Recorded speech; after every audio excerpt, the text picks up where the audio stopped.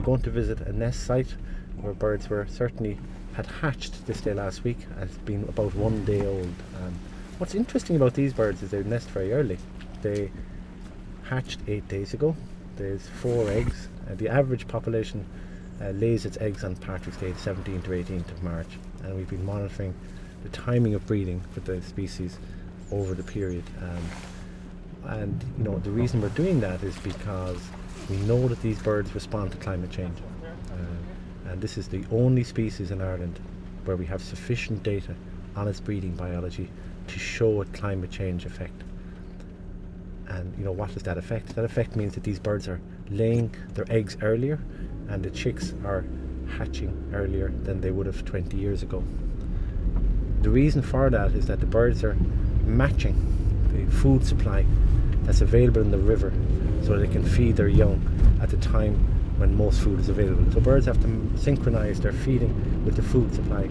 So as the food supply has shift, shifted in response to climate change, in particular the warming temperatures of the recent decade, then the bird's food supply shifts and these birds respond to it. We call this phenotypic plasticity. So the birds are plastic or flexible enough to respond to that short term of change. Now, clearly, if things get really tough and the shift is so great that actually the birds will not be able to respond, uh, therefore, they either become extinct or they evolve, and the evolution would mean that they lay even earlier. And you know, some years ago, we had the extraordinary situation on the University College Cork campus where a blackbird laid, laid its eggs in December. It's a freak event in some sense, but obviously that's the way evolution actually works. You get a single individual or a small population responding slightly differently, and then suddenly the whole population shifts. So as climate change starts to kick in, it's possible that you will get a shift in the timing of breeding of these species. So what we've been doing for the last 20 years is visiting and looking at about 60 nest sites in the Cork area. So from West Cork as we're going to today, near Curraheen, to North Cork near the Araglin Valley in Fermoy, to West West Waterford, East Cork near Youghal, into the various rivers where we visit these birds at their nests. Uh, we examine the nests when they lay their first eggs. Under license, we capture the birds, we ring them, give them a unique ring, which has got a unique code on it, and then we can measure each chick and we can start to track its life history.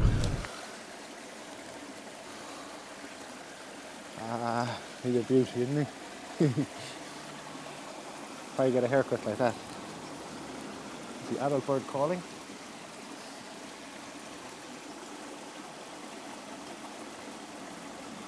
We've been visiting this nest site for over 20 years, so probably four or five generations of dippers of adult birds have been in and out of this nest site. They live about four or five years old, the adult birds. Actually, there's a, a ring number and there's an address on it, and you can just simply send this on the address and the ring number, and, and people will get information of the bird that we've ringed today, its weight, and they'll know its age. So it's quite a really useful data set. And that's how we, when we recapture these birds at night, we can identify individuals and see how long they live. It would be unusual for somebody to find a dead dipper because they obviously get washed away in the, in the river.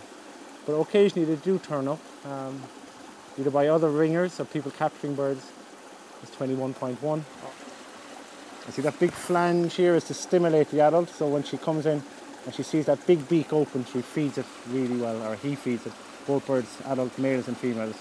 You can see there's no feathers growing yet, but the dark region here is where the feather track, what we call feather tracks are, so actually where the feathers actually ultimately grow on the bird. Uh, big pot belly on him, absolutely cracker. I'm going to put him back now because he's going to start getting cold. We'll put him back with the siblings, okay? Good.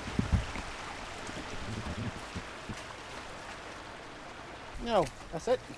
Good.